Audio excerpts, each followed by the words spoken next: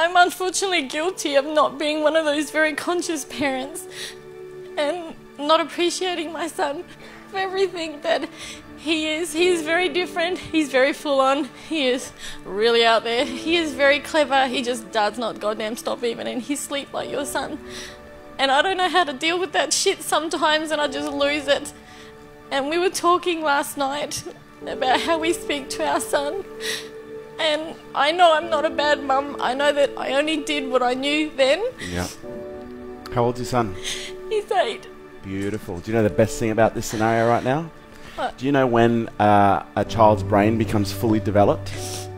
When they're about 10. No, 28. Oh, 20, oh, thank God, I could fix it. Yeah, you can.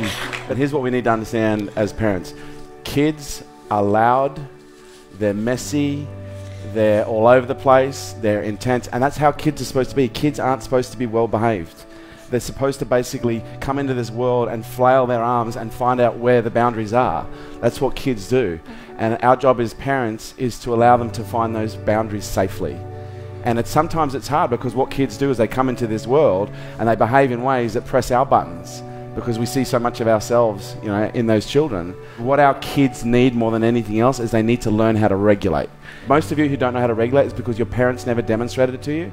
Because when a child is having a meltdown, what do most parents typically say? Stop it. Just stop it. For God's sake, stop it. Go to your room. I'm sick of hearing you carrying on. Whereas what a child needs in those moments is a nice, calm parent in the midst of a shitstorm is just to get down on one knee and grab them and bring them in and just hold them and say, it's going to be okay. Just breathe.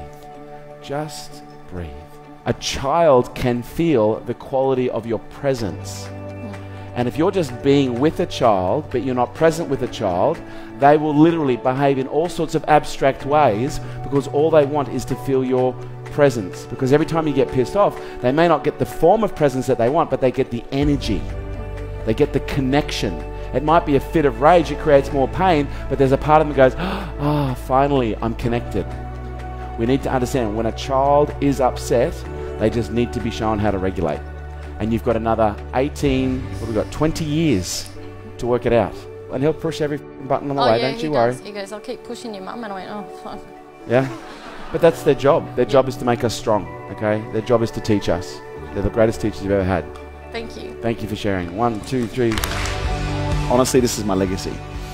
And there would be no greater gesture that you can do than to hand this down to the next generation. Show your kids how to regulate and demonstrate to them what calm looks like in the midst of a storm. But I do think parents need to understand the responsibility that is involved with bringing up a child. You've got to ask yourself the question now, what kind of a world are we trying to create here? The more you work on your personal issues, the less chance you have of transferring it onto them. Yeah. You know, and them having to deal with it. Pass down wisdom, not wounds. The greatest opportunity our kids have is by learning through the best example that we can give them. Our species really is dependent right now on a new generation of thought leaders coming through who are healthy, who are happy, who are balanced, who can look at things in a more conscious way and make better decisions than some of the decisions we're making right now collectively. I look at my business, I look at everything else, and he's my greatest legacy. I don't see myself leaving behind money. I'm leaving behind this incredible human being that if I condition, support, train, and coach properly, he's going to be able to create and affect 10 times the change that I have in my lifetime.